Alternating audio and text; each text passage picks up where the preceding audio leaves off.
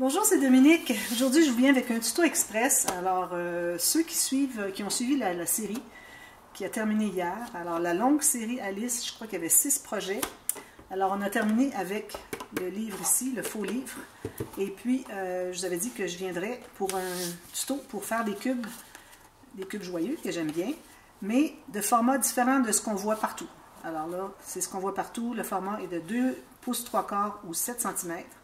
Alors, euh, moi, j'en ai fait un ici pour m'essayer, qui va avec un autre, euh, livre, un autre faux livre d'ailleurs, et puis euh, qui est seulement de 6 cm, de 2 pouces et 2 pouces et demi, au lieu de 2 pouces 3 quarts. C'est juste pour voir comment est-ce que, je figurerais finalement les, différences qu'il y a pour les espaces, les mesures. Alors, j'ai décidé de faire le tuto express pour vous montrer comment faire un cube joyeux euh, de formats différents. Alors, il fallait des petits, des plus gros, comme vous voulez.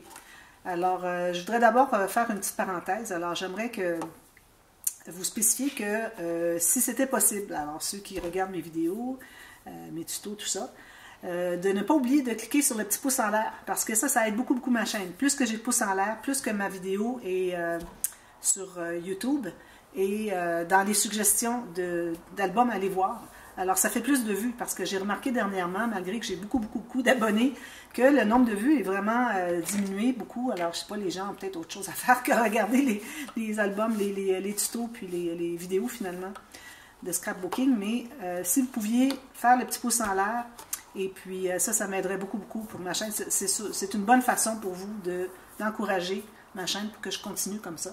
Et puis aussi, ben, ceux qui ne sont pas abonnés, ben, n'oubliez pas de vous abonner et cliquez sur la petite clochette aussi pour être certain de ne rien manquer, parce qu'il y a quelque chose à tous les jours euh, sur ma, chaîne, sauf en juillet euh, et août. Là, on a euh, quatre, jours par semaine.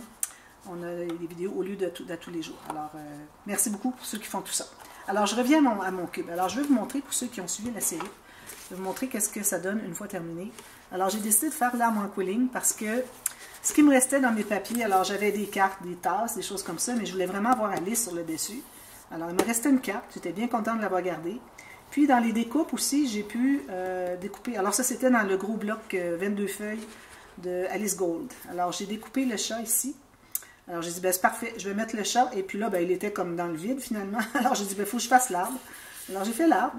Et puis, au fond, ici, je manquais vraiment de papier. Alors, euh, j'avais un petit morceau ici de l'écriture comme ça. Puis, j'avais le papier ici et ici. J'ai complété. J'ai mis des décos un peu partout. Je suis bien contente de mon quilling, vous voyez, on dirait vraiment les branches d'arbre, de chat dans l'arbre. Alors, c'est ce que ça donne, tout terminé.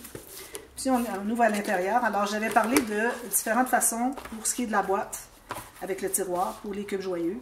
Alors, euh, moi, ce que j'ai choisi euh, pour la, façon de faire, c'est que j'ai mesuré du bord ici, avec peut-être 1 mm ou 2 de plus, jusqu'au pli. Alors, un autre, un autre 3 mm de plus, donc 5 mm de plus que ça ici. Alors, j'ai mesuré ça, et puis, à partir du pli ici, j'ai calculé euh, tout ça et puis j'ai fait ma boîte du format qui est ici. Et puis je me suis assuré que la largeur ici entrait. Alors regardez, quand je le ferme, il y a exactement à l'intérieur. C'est merveilleux. Je suis bien, bien, bien contente. Puis à l'intérieur, ben, j'ai décoré. Ici, j'avais Alice avec le rideau. C'est parfait pour mettre au fond. J'ai mis de la cartonnette dessus. Euh, dessous, c'est-à-dire. Puis des petites décorations. Ici, c'est en, serre dans les, euh, les espaces d'accordéon. Puis le petit cube, les petits cubes, alors voyez. Regardez, ils sont mignons, ils sont tout petits. Alors, je suis vraiment, vraiment contente. Alors là, j'ai décidé d'en faire un autre avec vous, de ce format-ci. Alors, il n'est que de 2 pouces ou 5 cm carré, cubique finalement. Alors, je donne les mesures pour ça. Alors là, j'avais fait la vidéo, j'ai dû tout recommencer parce que mon élastique avait cassé. Alors là, vous allez avoir besoin d'un élastique. Assurez-vous qu'il est bien solide. Alors, j'en avais un autre? Est-ce qu'il est mon autre? Ben, je vais prendre lui. Alors, assurez-vous qu'il s'étire bien, qu'il n'est pas en train de fendre parce qu'il est vieux. Alors, ayez des élastiques assez frais.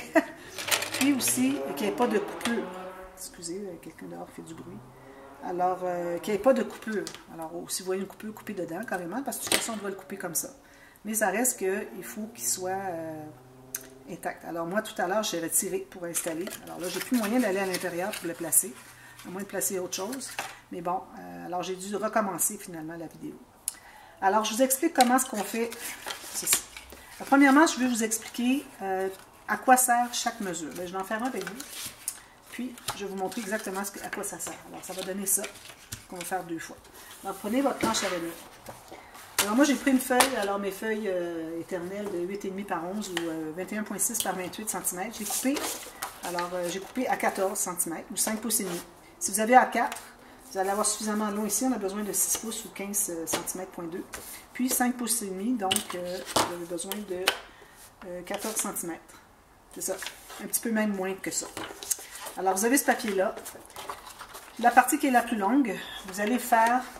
Alors, vu qu'on a décidé qu'on faisait 2 pouces, 2 pouces par 2 pouces, donc 5 cm par 5, cm, donc on va faire 3 marques. Alors, 2 pouces, 4 pouces et 6 pouces. Vous avez 5, 10, 15 cm. Alors, la dernière ligne qu'on a fait, on va couper. Ça va être notre ligne de coupe. Ici, comme ça, voilà. Alors ça, c'est ce qu'on a fait maintenant. Là, on va tourner comme ceci, dans ce sens-ci.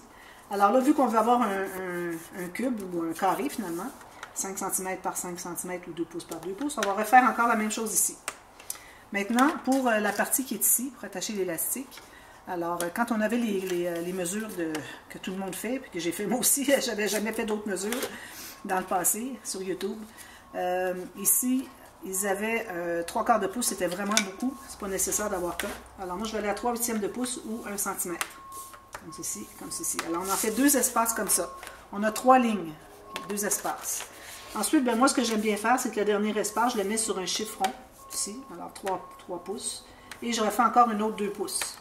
Alors une autre 15, 5 cm. Puis une dernière ici encore à 1 cm ou 3 huitièmes de pouce.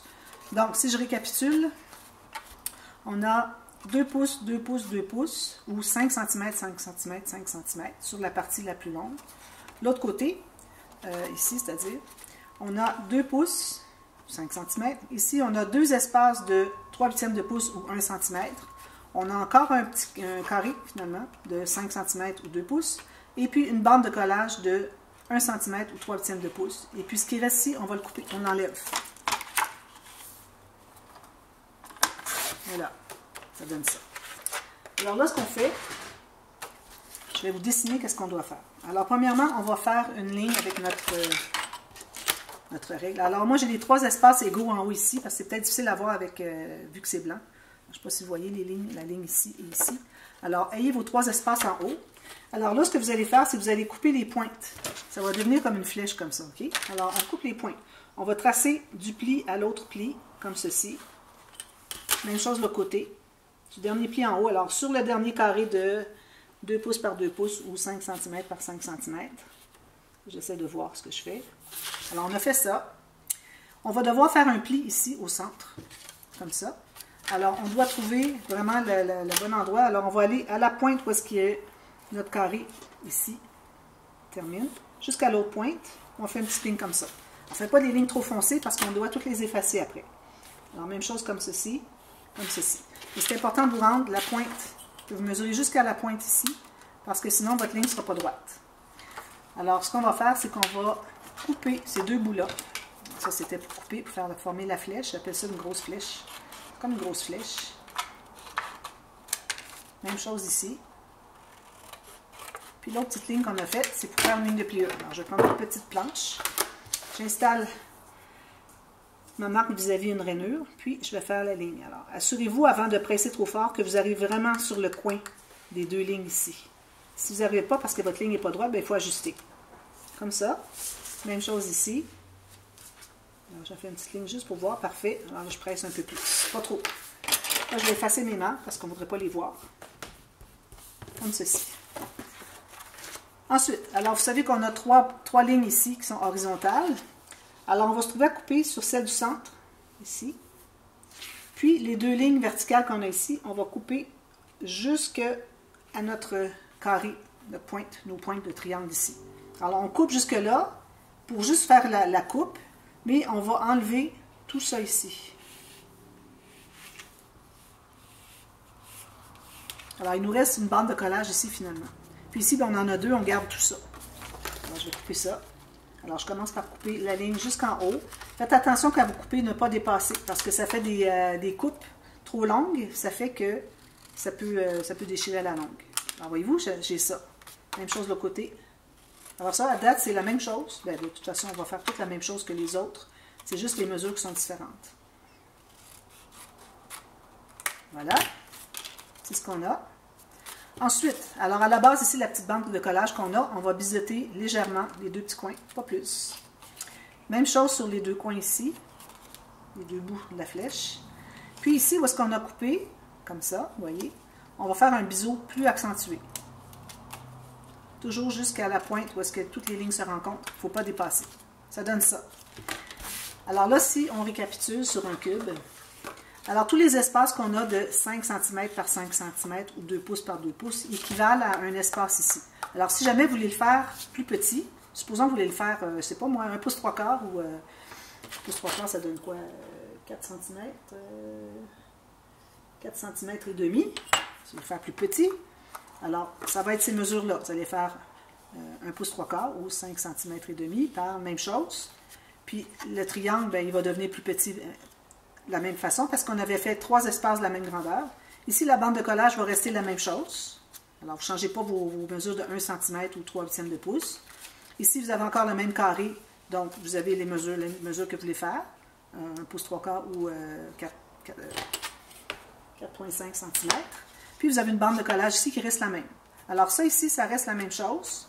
Ça aussi, les deux endroits où est-ce que c'est qu'on a les plis ici, ça reste la même chose. Les carrés ici, ici, ici, ici, ici, ici, reste la même chose. OK? Alors, j'en ai deux comme ça. Alors là, ce qu'on va faire, on va plier. On va commencer par plier ici. Alors, idéalement, on plie côté montagne. Alors, vous allez plier comme ça. Comme ça. Puis, vous allez plier les carrés ici à l'intérieur. Les, les, deux ailes comme ça. Puis, le pli qui est ici, vous allez le mettre de l'autre côté. Alors, on veut avoir la bande comme ceci pliée du côté intérieur, du côté des ailes. L'extérieur, c'est ici où est-ce que c'est carré. Ici, c'est les ailes. Alors, ce qu'on va faire, c'est qu'on va coller cette bande. Alors, mettez de la colle. Idéalement, il ne faudrait pas en mettre trop pour pas que ça déborde. Mais il faut en mettre assez, surtout jusqu'au bord. C'est bien important parce que sinon, il faut aller rajouter si ce n'est pas bien collé. Sinon, le cube, si ce n'est pas collé jusqu'au bord, ça ne se tient pas. Alors, on fait la colle ici. Moi, j'aime bien enlever l'excédent comme ceci. Alors là, on va le plier comme ça. Avec mon plioir, je vais aller presser. Puis je m'assure qu'il n'y a pas de colle qui est débordé ici. Alors vous allez l'ouvrir, vous allez presser comme ça. OK? Alors vous allez attendre un petit peu, vous allez voir si c'est bien collé. Sinon, il faut aller ajouter de la colle. Il faut que ça soit collé jusqu'au bord. Alors là, on a les ailes comme ceci. On a ceci comme ça. OK? Lui, il va comme ceci. Alors, une fois qu'on a plié les ailes, alors vous pliez ici, je vais effacer parce que j'ai tracé au crayon, puis je ne voudrais pas le voir sur mon cube. Alors, on plie intérieur. Ensuite, sur la ligne diagonale, on va plier comme ceci. Puis, ensuite, on va plier comme ceci. Là, c'est important que votre pli, alors je ne sais pas si vous remarquez, mais moi, mon pli, mon côté n'arrive pas égal. Alors, ce que je fais, c'est que je vais le plier plus proche. Alors, je vais l'apporter vraiment le long de la ligne ici. Puis, je vais aller presser sur mon petit triangle. Peut-être que je n'étais pas tout à fait à un demi-millimètre près, bien droite. Alors, vous avez ça ici. Même chose comme ça. Ici, ici, ici. Là, ici, je suis bien droite. Parfait. Alors, je vais presser tout ça. Puis, je vais presser le ici. Alors, on a ça. La banque est ici. On va devoir la biseauter. Alors, si vous mettez ça droit ici, alors si vous suivez la ligne, ça fait un petit bisou comme ça. Mais on voudrait faire vraiment plus accentué. Parce que ce qu'on veut ici, c'est environ 1 cm. Pour que tout se tienne, c'est l'élastique qui va être attaché là. Alors, voyez l'angle que je fais? Attention de ne pas dépasser. Comme ça. Même chose de l'autre côté. Alors, on veut l'avoir plus accentué parce que quand on va plier, comme ceci, on veut que cette bande ici soit libre. OK? Ça, c'est bien important. Puis ensuite, on va faire deux petits trous. Alors, dépendamment de l'épaisseur de votre élastique, mon élastique. Alors, mon élastique n'est pas très gros. Alors, je vais commencer par un trou. Qu'il ne faut vraiment pas que ça passe au travers. Il faut qu'on soit capable de l'insérer, mais une fois qu'on a fait le nœud, on veut qu'il soit passe au travers, mais que le nœud, lui, ne passe pas au travers. Alors, j'ai fait un nœud ici, vous voyez, comme ça. Alors, je mets ça de côté. Alors, faites la même chose pour les deux. Vous en faites deux par identiques. Alors, comme ceci, comme ceci, comme ceci. Là, je ne suis pas droite, je vais aller ajuster. Alors, je le place à sa place. Puis ensuite, je vais aller presser pour former l'angle euh, du triangle, finalement. Même chose ici, ici, ici. Comme ceci, ici. Je fais mon triangle ici. Alors, je plie tout ça côté montagne. ensuite, je vais plier pour que la bande entre entre les ailes. Alors, je vais plier comme ceci. Comme ceci. Alors, vous voyez, l'extérieur, c'est bien droit, comme les, cubes ici. Et à l'intérieur, on a ça. Tous les mécanismes, toutes les choses pliées vont toutes du même sens. Alors, je mets de la colle, le coller ici. Pas trop, j'en sors vraiment un peu. Alors, on presse ça. Parfait. Je vais aller voir si j'en ai pas d'excédent à l'intérieur ici. Parfait, c'est beau, c'est propre. Je vais presser davantage. Puis, je vais faire mon bisou très accentué ici, jusqu'à la pointe. C'est vraiment bien important de respecter, toujours vous rendre à la pointe. On ne veut pas dire à peu près, ça ne fonctionne pas. Comme ça. Puis ici, j'avais biseauté tout à l'heure, alors je vais biseauter ici, un petit angle ici, au centre ici, un bon angle. Toujours pour la raison qu'on veut que la petite bande soit libre. Alors si je plie tout ça, là j'ai de la colle qui avait débordé, je vais l'enlever tout de suite. Alors si je plie tout ça à l'intérieur comme ça, il faut que ma bande ici soit libre. Il ne faut pas que ça accroche avec les côtés. Alors, vous allez soit rebiseauter ici ou biseauter là, comme vous voulez. Alors voilà, on a ça. On fait le petit trou ici. J'en fais juste un parce que mon élastique n'est vraiment pas, euh, pas gros. Ce n'est pas nécessaire que ce soit des gros élastiques. Mais il faut vraiment que ça s'étire bien. Parfois, on a des élastiques qui ne s'étirent pas bien. Alors vraiment, il faut que ça soit assez rigide parce que sinon, euh, le, cube ne fermera pas. Il va faire ça.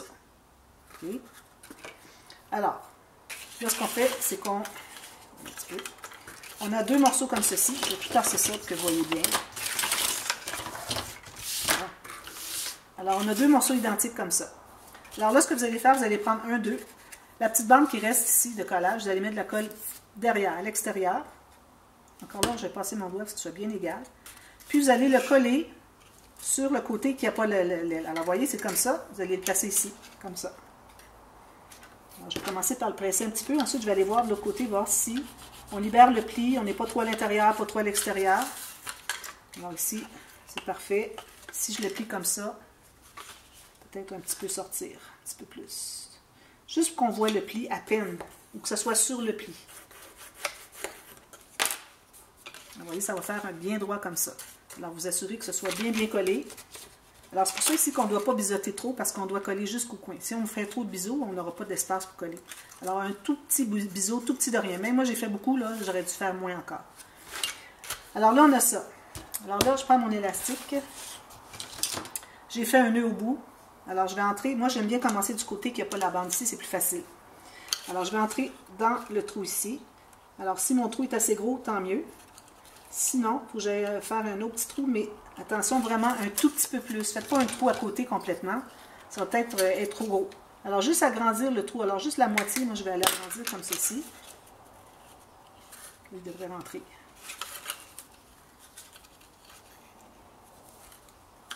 Comme ceci. Vous voyez, le nœud l'arrête. C'est important que le nœud ne passe pas au travers. Alors là, vous, placez votre élastique comme ceci. Là, vous allez tout plier ça. Vous allez mettre de la colle sur les, bandes de collage des ailes. J'appelle ça des ailes, je trouve que ça ressemble à des ailes d'un oiseau. Comme ça. Puis vous allez tout simplement le plier et le coller ici. Alors assurez-vous que votre bande est libre, qu'il n'y a pas rien qui accroche ici. Sinon, vous allez avoir des problèmes, ça ne fera pas un cube euh, assez, euh, assez bien défini. Alors là, je vais aller à l'intérieur pour presser davantage jusqu'au bout. Ici, regardez, je l'ai collé un petit peu trop à l'intérieur, je vais aller le replacer avant qu'il soit trop tard. Idéalement, si vous pouvez l'avoir tout juste sur le côté, c'est merveilleux. Ici, peut-être qu'il dépasse un petit peu. Comme ça.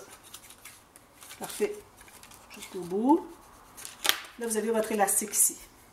Alors là, ce que vous allez faire, vous allez passer votre élastique dans le trou. Encore là, je vais l'agrandir un tout petit peu.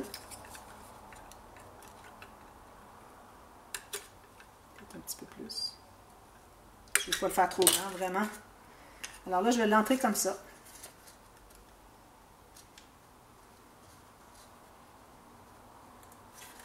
Voilà, je l'ai comme ça. Alors, ça donne ça. OK? Lui, il est terminé. On va travailler ici maintenant. Alors là, il faut l'étirer. Le truc, c'est de l'étirer juste assez. Alors, pas trop peu, puis pas trop non plus. Alors, ce que je fais, moi, c'est que je l'étire pour qu'il soit quand même, vous voyez, ici, que ça veuille entrer un peu à l'intérieur. Alors là, ce que je fais, c'est que je vais le tenir ici, puis je vais aller voir si je suis capable de l'ouvrir ici facilement. Mais qu'il y a quand même une bonne tension, là. mais ça se fait quand même.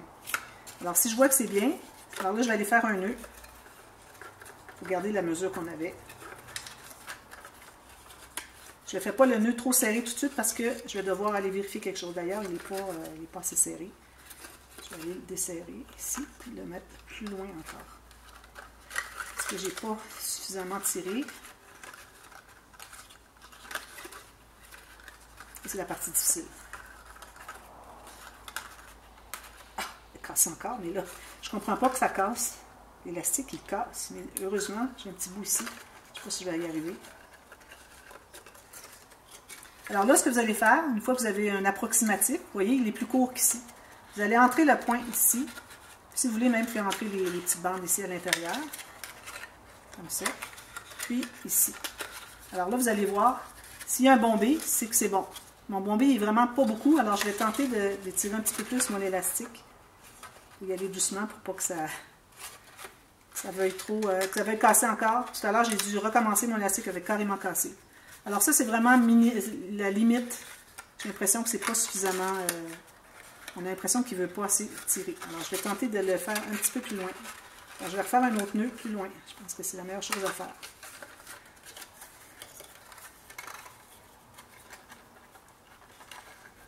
Comme ça. Alors, voyez-vous, je l'ai fait plus loin pas mal. Comme ça. Alors là, si je le ferme, alors là, c'est un peu mieux. Voyez-vous, il fait une bonne courbure. Ça, c'est un bon signe. Puis, il faut que vous soyez capable de l'ouvrir comme ça, et que ça ne casse pas. Alors là, ici, je vais couper un peu parce que j'en ai trop. Alors, il faut que vous soyez capable de le placer comme ça. Quand j'avais fait les tutos avant, je ne faisais pas cette étape comme ça. J'avais beaucoup de difficultés. Alors, en le faisant à plat comme ça, c'est la meilleure façon. J'avais vu une vidéo, je crois que c'est une Française même qui l'avait faite, puis elle faisait comme ça. Je dis, ben là, c'est la meilleure façon. C'est vraiment bon parce que sinon, on ne sait pas quoi tenir et puis où tirer. Puis là, vous allez fermer ça tout simplement dessus. Encore là, vous allez vous assurer que ça soit bien entré à l'intérieur, mais pas trop. Que ça soit tout juste égal avec le carré ici. Le carré ici, c'est vraiment ce qu'il y a de plus important. Là, vous allez presser ici. Alors, cet élastique-là, il est vraiment limite pour ce qui est de l'épaisseur. C'est vraiment très fin. Alors, je recommande un petit peu plus épais. Moi, j'en avais un autre tout à l'heure que j'ai fait avec. Puis, euh, il, était, il était correct. J'en ai fait beaucoup avec celui-là. Ça allait très bien. Là, je ne le trouve pas. Mais bon, un peu plus épais, c'est l'idéal. Vous voyez, là? Ça, c'est un petit peu trop mince. Alors là, une fois que vous avez fait ça, vous allez vous assurer que tout, tout est bien collé. Tous les coins sont bien collés. Alors moi, je vais retourner. Vais presser ici davantage. Puis ici. Les coins. C'est toujours les coins qu'on a de la difficulté. Puis ce que vous faites maintenant, vous allez mettre de la colle sur la petite bande qui reste à l'extérieur. Puis vous allez l'entrer à l'intérieur ici, tout simplement. Comme ça. Voyez-vous, mon élastique aurait pu être encore un petit peu plus serré. Mais là, je pense qu'il n'aurait pas voulu. je pense qu'il aurait dit non, moi je casse. je veux pas. Alors, vous pressez tout ça. Vous avez votre petit cube. Alors là, ce que vous faites, c'est vous vérifiez, voir une petite inspection, voir s'il y a des endroits où vous auriez euh, à rajouter un peu de la colle. Ou vous allez presser si vous venez juste de mettre de la colle puis qu'elle n'est pas encore sèche. Pressez davantage. Vous avez votre petit cube. Il vous reste tout simplement à mater les quatre coins. Alors j'espère que vous avez bien compris que la mesure euh, des carrés peut changer. Mais pour ce qui est de faire la diagonale ici, de couper la diagonale, c'est la même chose. Les bandes de collage pour faire la partie où est-ce qu'on attache l'élastique et pour coller à la fin aussi, ça reste la même chose, que vous faites plus petit. Si vous faites beaucoup gros, ben là, c'est une autre histoire. Peut-être qu'il faudrait aller plus gros, mais bon, moi, j'en ai jamais fait des plus gros que ça. Pas plus gros que ceux que je fais habituellement. Alors, euh, les 2 pouces 3 quarts ou les 7 euh, cm. Alors, j'espère que ça va vous aider. Alors, n'oubliez pas de cliquer sur le petit pouce en l'air si vous avez aimé la vidéo. Euh, ça m'encourage beaucoup. Et puis, euh, on continue. Alors ça, cette vidéo va être, euh, dans la, va être ajoutée à la playlist des tutos express. Alors ceux qui sont nouveaux, tout ça pour apprendre des techniques, il y en a tout plein. Alors je recommande d'aller voir. Le tuto express, il y a plus de 100 vidéos. Et puis aussi, si vous voulez voir la série Alice, alors la grande série Alice qui a eu lieu tout l'été. Alors on a terminé la série, on est à la, je sais pas, alors, fin de l'été, probablement. Et puis, il y avait beaucoup de vidéos, beaucoup de projets. Alors, euh, voilà. Alors, merci beaucoup, puis on se revoit très bientôt. Bye bye.